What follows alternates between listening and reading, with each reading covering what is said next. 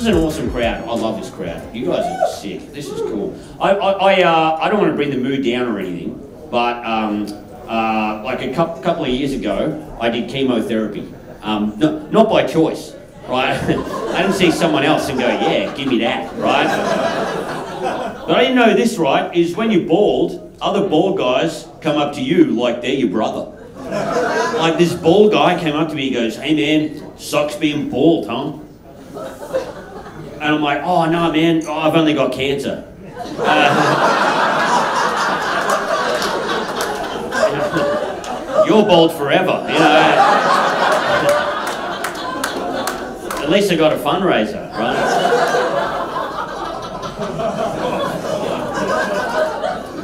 But he was pretty funny. Most bald guys are pretty funny. He goes, um, yeah, but there's a chance that you could die. And I'm like, oh, toupee. Uh, that one's not bad. Hey, hey, horny tennis lady. Serve that one up. Um, yeah. Uh, but yeah, it was cool. I, I, I got to, I'm fine now. I'm fine now. I'm still getting checkups a lot, but I got uh, testicular cancer. Right? Um, and I've got to keep an eye on it. But they said, Nick, we're going to have to take your testicle out. But don't worry, we can put a fake rubber one in there just to make things look a bit better. And I said to the doctor, oh, you've seen testicles, I've seen testicles, they're not going to look any better, right? They're like, oh, look at this disgusting dog shit on the ground. Oh, hey, let's put another one next to it. Oh, yeah. That looks better. She said, no, it can be scary if your partner goes down there and finds out you've got one testicle. I said, if there's anything more harrowing than my partner finding out I've got one testicle, it's her finding out one of them's a rubber ball. You know?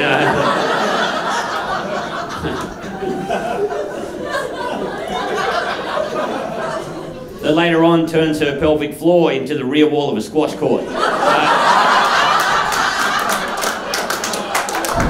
Yeah, it's good to be here. Great to see you guys. Obviously, you can tell you're a fun crowd. We'll just say back there, the energy is up and about. And you're a smart crowd. You spend your money right in this climate. You're like, what will $30 get me? Might as well have a laugh because can't get a fucking litre of petrol for that price anymore, can we, guys? I'm ashamed to admit it, but I've realised now it's cheaper for me just to buy a bag of cocaine and run everywhere, guys.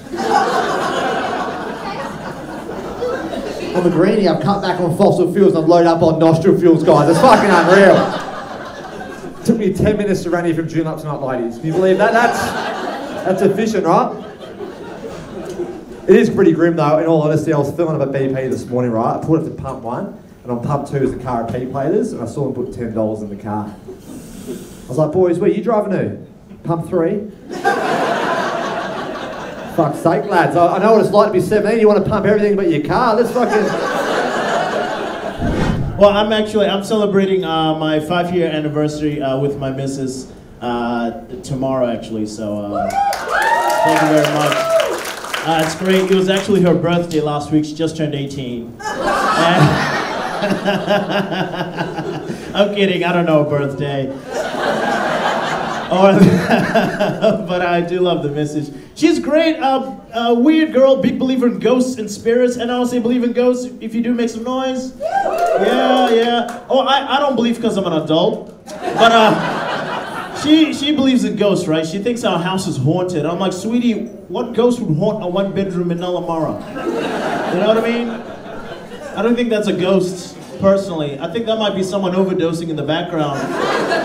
You know, the sounds are weird. It's just like, oh. like now it's a ghost. I've got two kids of my own, um, my two little cream pies that could. Uh, and one of the wild things about being a parent is that is that when you take your kids out in public, it kind of gives permission to other people's kids to come over and hang out. You always get these weird kids. Like if you're at the park, it's always the strange, sticky kids that come over too. It's never a clean, snatchable kid that comes over. And they always arrive and say dumb shit too. They'll walk up and be like, My brother's really tall. My dad's a plumber. I can't find my mum. It's like, fuck off. I had the perfect moment to get rid of one of these kids though recently. We were down at the beach and he just wouldn't go away, and then all of a sudden the shark siren went off. And he got all nervous and he goes, Oh, what does that mean? And I went, Mate, that means the first one in the water gets a prize. Uh, it was incredible because as he was running towards the water, his dad and I locked eyes. And in that moment, the dad realised that the real predator was not in the ocean. Fuck, you, you deal with fuckhead kids everywhere though. Like one thing that's, that's a place that I have to regularly go with my boy is the skate park. The skate park just brings out punchable children. But the best thing about the skate park is the kids that are assholes, there's a good chance they might grievously injure themselves too. One of my favourite things to do is just give them a little bit of extra confidence. You know, encourage them to do something they're not skilled enough for. Like last time we were there, there was this boy who pushed my son, and as we were leaving, we, I walked past the kid and I said, "You know what, mate? I reckon you're ready for a backflip." and as we were driving home, we passed an ambulance, and I was like,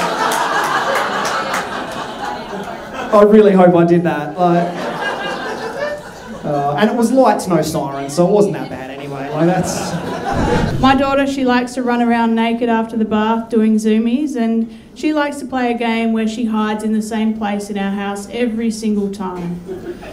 And I have to go looking for her. So the other night, I was walking around the house looking for my kid, and I walk into the bedroom to find her, and she jumps out of the cupboard. She turns around and she points back to where she was hiding and says, Look, look, mummy, look.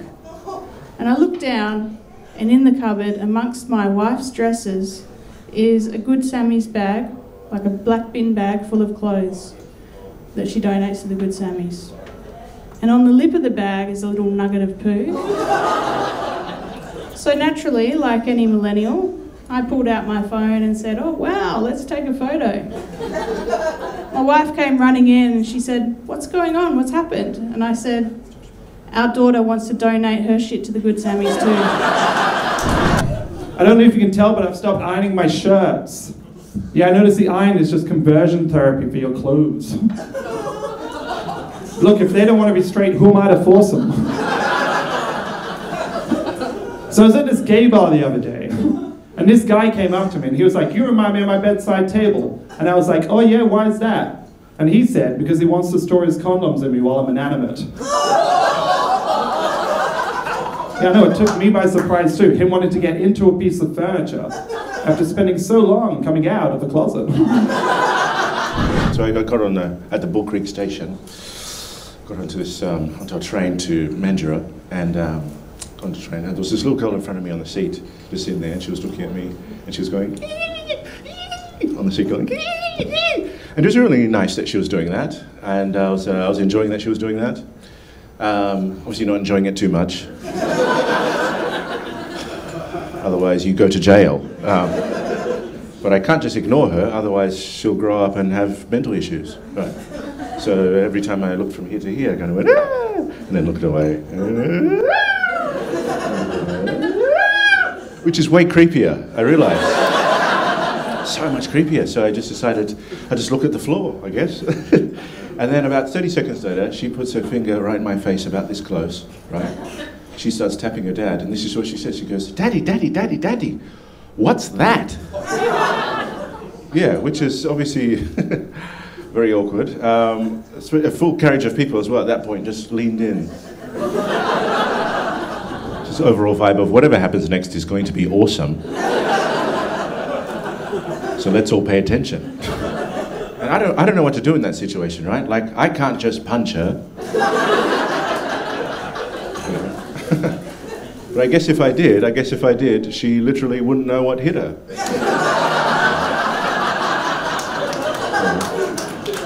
So, wouldn't be able to describe me to the police. Something hit me. Well, we can't really help you with that, ma'am. It's obviously a tough situation for the dad to take in, and so, so he paused for quite a while. And, and I wondered in my head, like, does he not know? and then he said to her, he said to her, that, that is a man. And I nodded. because I am.